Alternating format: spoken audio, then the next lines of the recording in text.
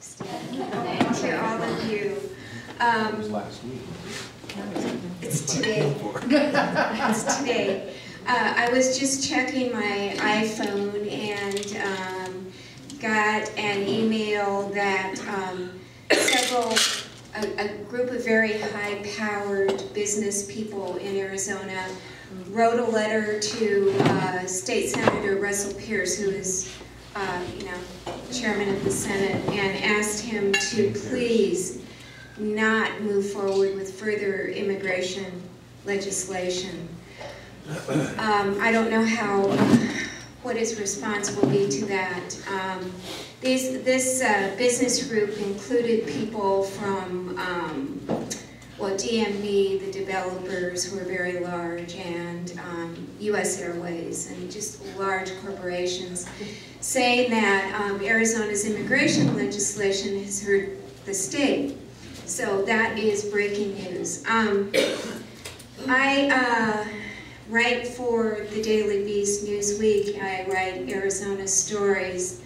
And I have been um, incredibly busy writing about immigration issues for the past year. And I'll be happy to talk to you about that. But first I want to talk to you a little bit about the people at ground zero of the immigration debate, the immigrants themselves.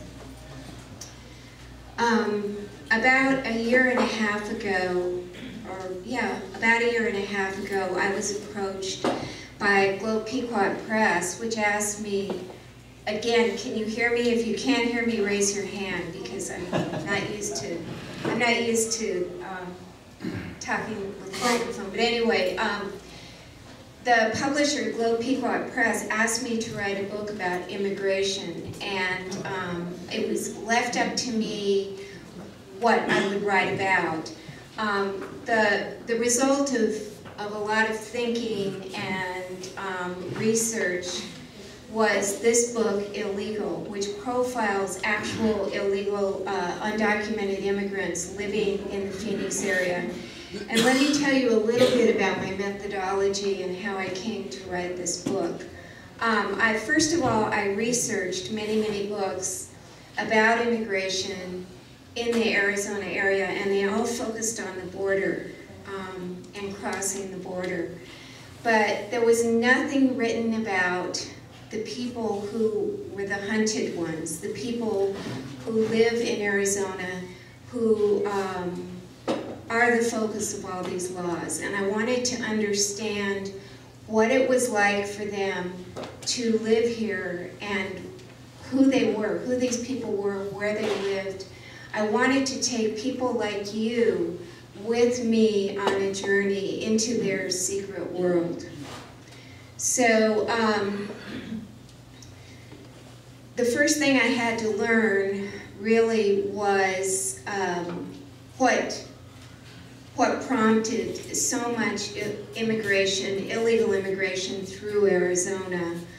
And as all of you know, and I'll briefly go into it, uh, just very briefly, um, Arizona is the immigration enforcement was ramped up in California and Texas, which caused a funnel effect through Arizona's deserts.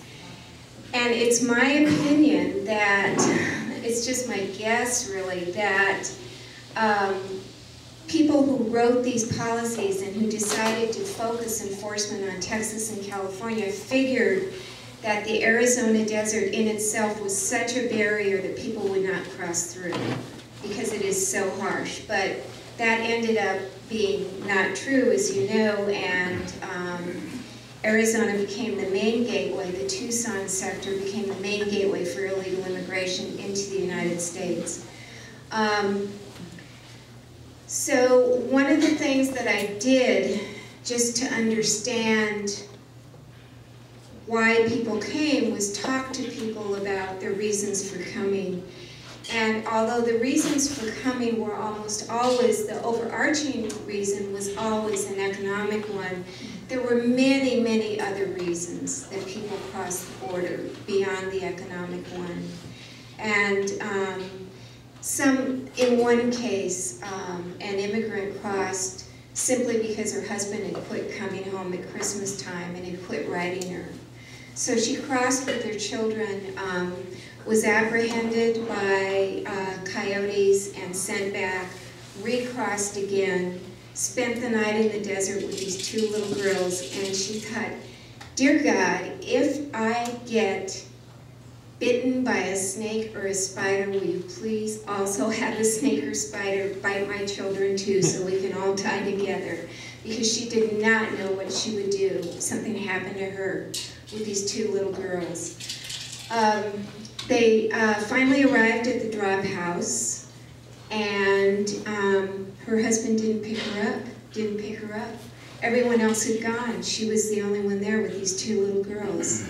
It ended up that her husband had found another family. He'd started another family. So here she was in Phoenix with two little girls, no social support at all. And um, one of these little girls uh, graduated from Arizona State University with honors uh, in psychology, and the second of these little girls is graduating this year with a degree in aeronautical engineering. Um, as you know, uh, undocumented people in Arizona cannot uh, pay in-state tuition, and they cannot um, get any public monies for scholarships. So these kids went to school on private scholarship. And um, as it stands now, even though we have this, uh, these two kids with these event, with these college degrees who graduated with honors as it stands now, um, they have no future for working in Arizona because they are undocumented. So um, this is just one of the many, many people that I interviewed. Um, and if you want, I can tell you a little bit more about the book. Um, or if you want, I can answer questions about what's happening now. Um, it's up to you. Do you want to? Do you want me to read a little bit? Well, Yeah. yeah, I'd like to- for you to go into the book if everybody agrees a little bit. Uh, Okay. But I, I, when you do that, you know, what was your struggle, so to speak, to get people to talk, you know, and, and, and and do that? But My question is, um, I know there was a mass exodus out of Arizona of people. That affected the housing market and also businesses and everything, and I don't know if you actually get into that, the effect that it had, as well as uh, how is the boycotting going against? Okay. Yeah. Okay, um, to start out, uh, I come from, I grew up on a cattle ranch, um, near Prescott. So I am from this country and, um, my family had ranches on both sides of the border. So as a child, growing up in uh, rural Arizona, it was very natural for me to learn Spanish at the same time I learned English in the 1950s. And um, further, because my grandmother lived in Mexico, it was absolutely nothing for us to cross over the border back and forth, back and forth. The border was, um, you know, its own, really its own cultural biome. And um, I consider myself part of, you know, the old Arizona border family history. So, um, long story short, I speak Spanish. And um, people were very willing to open up to me and talk to me because they wanted people like you to know their stories and because they felt so stereotyped. Um, they, I told them that, the, that, that I would never pay them money and that I would I wanted to follow them over a year's time. And um, I wanted to learn everything about them. I wanted to learn about their, you know, their weaknesses, their strengths, their hopes, their dreams, their failures. I wanted to tell their stories as real people, and they, they jumped at this opportunity. Um, in terms of, in terms of what happened following um, the passage of SB 1070, which is now being tested in the courts um, and has been, you know, parts of it have been temporarily stayed.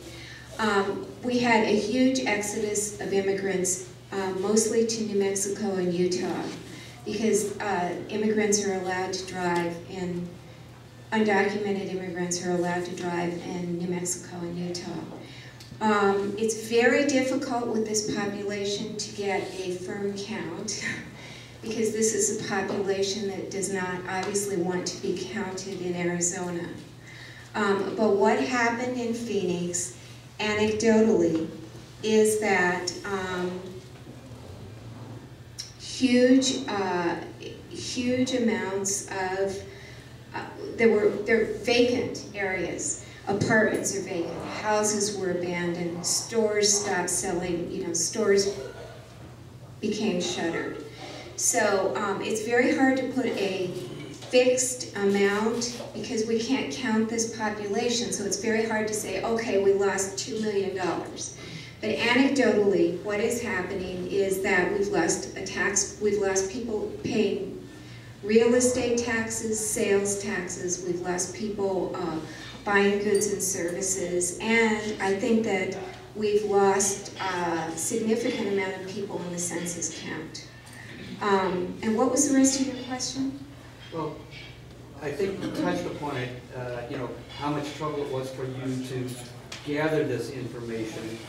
uh, And uh, now I guess, oh, the uh, boycotting of the state, is that Yeah, yeah, that, um, we have lost, um, uh, tourism dollars, significant tourism dollars. I think two hundred million, I'm not sure, but I, I, that number sticks with me. Um, and in the letter in, in the Phoenix Business Journal today, um, you will find um, leaders of business, businesses saying, look, we have got to stop this because our image is so bad. We've had so many conventions canceled. Hotels are complaining. Um, so yeah, so it's had a huge impact on us, not to mention that we're considered a racist. I mean, we're viewed by many as a very racist state. So yeah, I have two questions. Yes, ma'am. One, what's gonna happen when, uh, the produce, uh, uh, the growth of vegetables, for example, are not hit? Because who's gonna hit them if these people who are migrant workers run back and forth? Who's gonna pick the vegetables, okay? That's number one. The second one is, I was very upset that the DREAM Act failed. Right. I wanna know whether that's a possibility of being passed still. Okay, well, um, what's going to happen if, I spoke with people at the Arizona Farm uh, Bureau um, when I was writing this book, and what they're saying is that um, farmers are going into, um, instead of producing vegetables, which need to be picked, they're going into things like hay, which they can harvest by machine, which will mean an uptick in food prices. The, um, does everyone know what the DREAM Act is? Okay. Um, the argument, um, the DREAM Act, as you know, has been, um, we've been trying to, uh, people have been trying to pass the DREAM Act, uh, I think for at least 10 years. And um, at one point, Senator McCain was all for it. Um, basically, what it would do was give a pathway um, to legal residency to students who were brought here as children. Um, they had no choice in the matter. These are students who were brought here as children. They've lived here at least 10 years, and they have no criminal records. They have given temporary uh, residency, just temporary residency, not permanent residency, to um, attend school or serve in the military. And after that, um, if they behave themselves and they follow their goals and they finish school and they serve out their time in the military, they then get um, permanent legal residency, which is a green card. And after that, they can get citizenship after so many years. Um, the uh, uh, the blockers of the DREAM Act say it encourages, it, it incentivizes illegal immigration into the United States, and those who are for it say it would bolster the middle class.